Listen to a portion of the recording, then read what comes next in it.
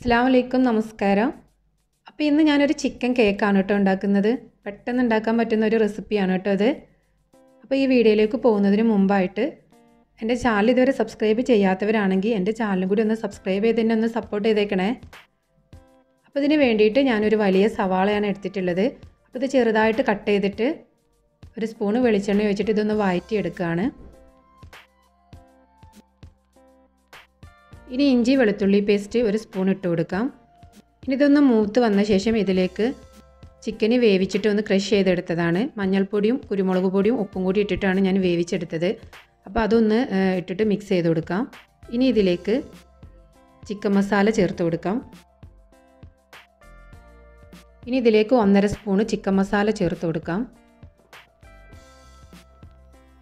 ഇനി ഒരു സ്പൂണ് ഗരം മസാല ചേർത്ത് കൊടുക്കാം.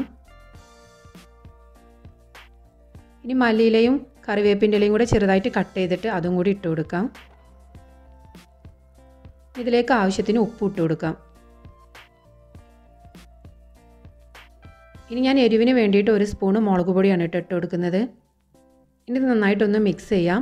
അപ്പം നമ്മുടെ ചിക്കന്റെ കൂട്ട് ഇവിടെ റെഡി ആയിട്ടുണ്ട് കേട്ടോ. ഇനി ഇതിലേക്കുള്ള ബാറ്റർ ഒന്ന് റെഡിയാക്കാം അപ്പോൾ ഇതിന് വേണ്ടിയിട്ട് ഞാൻ നാല് മുട്ടയാണ് എടുത്തിട്ടുള്ളത്. ഒരു കപ്പ് മൈദ അര കപ്പ് സൺഫ്ലവർ ഓയിൽ മുക്കാൽ കപ്പ് പാൽ ഈ ഒരു അളവിലാണ് ഞാൻ എടുത്തിട്ടുള്ളത്. ഫസ്റ്റ് നമുക്ക് ഈ മുട്ട ഒക്കെ ഒന്ന് പൊട്ടിച്ച് മിക്സിയിലേക്ക് ഒഴിക്കാം.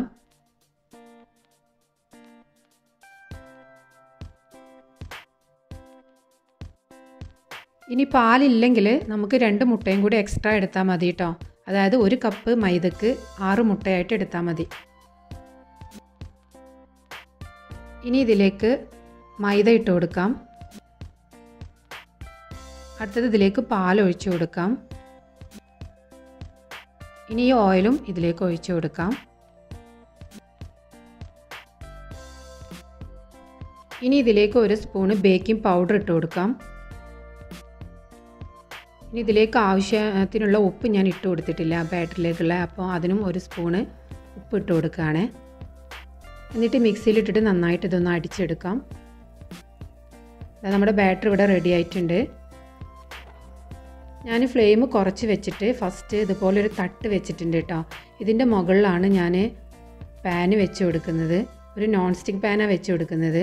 പെട്ടെന്ന് അടിയിൽ പിടിക്കാത്ത ഒരു പാത്രം വേണം കേട്ടോ അപ്പോൾ നമ്മളിപ്പോൾ അടിച്ചെടുത്തിട്ടുണ്ട് ആ ബാറ്ററിന്റെ പകുതി നമ്മൾ ഫസ്റ്റ് ഈ നോൺ സ്റ്റിക്ക് പാനിലേക്ക് ഒഴിച്ചു കൊടുക്കാം.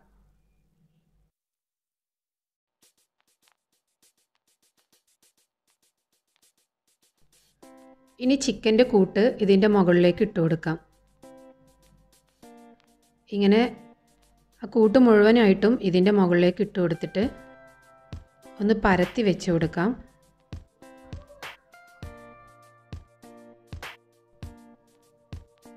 ഇനി ബാക്കി വന്ന ആ ബാറ്ററും കൂടി ഇതിന്റെ മുകളിലേക്ക് ഒഴിച്ചു കൊടുക്കാം.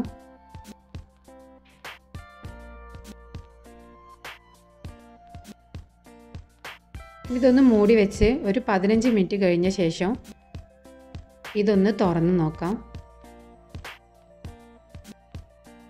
എന്നിട്ട് ഇതിന്റെ മുകളിലേക്ക് തക്കാളി ഇങ്ങനെ റൗണ്ടിൽ കട്ട് ചെയ്തിട്ട് ഒന്ന് വെച്ച് കൊടുക്കാം. ഒന്ന് ഡെക്കറേറ്റ് ചെയ്യുകയാണ് ഇത് വെച്ചിട്ട് കേട്ടോ ക്യാപ്സിക്കം ഉണ്ടെങ്കിൽ ക്യാപ്സിക്കം വെച്ച് കൊടുക്കാം.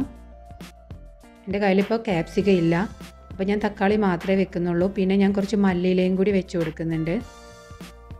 വളരെ ഈസി ആയിട്ട് ഉണ്ടാക്കാൻ പറ്റുന്ന ഒരു കേക്കാണ് കേട്ടോ അത് കഴിക്കാൻ നല്ല ടേസ്റ്റും ഉണ്ട്. കാണാൻ നല്ല ഭംഗിയുണ്ട് കേട്ടോ ഇനി ഇത് വേഗം മൂടി വെക്കാം.